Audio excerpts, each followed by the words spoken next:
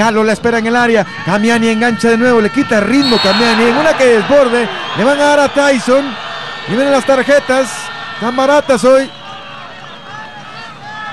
Está nervioso el árbitro y nervioso prácticamente todos los protagonistas. ¿eh? Cada pelota dividida se juega con todo, con toda intensidad. Aquí Tyson está de espalda. Esto es lo que tienen que tener a la parra. ¿Ven dónde va a golpear? ¿Ven dónde está la pelota? Claro que tarjeta de amonestación. El balón está a dos metros de Tyson que está girando. La parra llega solamente a golpear a Tyson de espaldas y merecidamente el central le muestra la tarjeta amarilla al lateral de Municipal. Ya tenemos cuatro amonestados, Walter. Así es, dos para el equipo de Municipal, dos para la Universidad de San Carlos. En el cuadro estudioso, Pablo Rodríguez y Saúl Philip, los hombres amonestados en Municipal.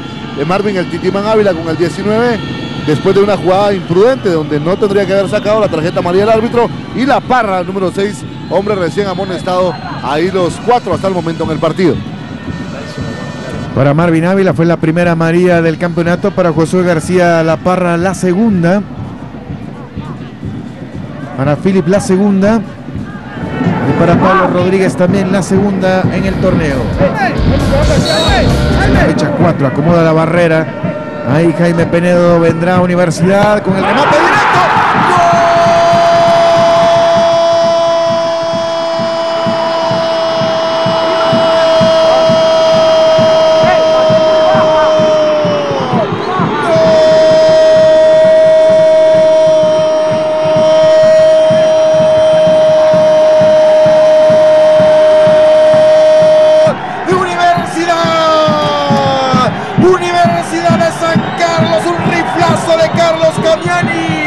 El mexicano Carlos Camiani Félix mete un derechazo inclemente a media altura. Se abre la barrera y ahí no llega Penedo ajustado contra el vertical derecho. Minuto 31, la 1. Municipal 0. Qué golazo, ¿eh? Qué manera de pegarle la de Carlos Félix Camiani. Alguien que se pone delante de pelota, se corre, salta la barrera de Municipal, al parecer se abre también en el salto. Penedo que se tira, no le llega nunca el balón.